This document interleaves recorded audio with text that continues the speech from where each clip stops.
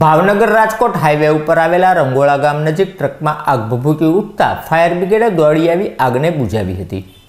Bhavnagar Rajkot road ઉપર આવેલા રંગોળા ગામ નજીક ટ્રકમાં અચાનક શોર્ટ સર્કિટ થતાં આગ લાગવાનો બનાવ બન્યો હતો અને પવનના કારણે આગ ઝડપથી ફેલાતા ટ્રકને આગે તેની ઝપેટમાં લીધો હતો. જેની જાણ ફાયર બ્રિગેડને કરતાં ફાયર કર્મીઓએ દોડી આવી આગને બુઝાવી હતી, જ્યારે આગમાંથી ટ્રક ચાલક અને ક્લીનરનો આબાદ બચાવ થયો હતો.